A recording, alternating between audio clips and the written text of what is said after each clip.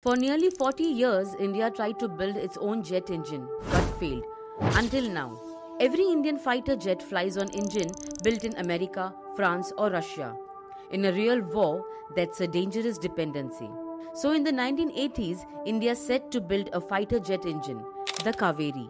The goal was to build a world class engine for its first indigenous fighter jet, the Tejas. Only three countries, US, France, and Russia, had done this before. But building a jet engine? That's one of the hardest things in defense tech. You need to run it at 1500 degrees Celsius, spin it at 1000 RPM, and never fail mid air. And by 2008, the dream was shelved. Now, the Kaveri project is having the best comeback. Quietly, DRDO has been reworking the engine.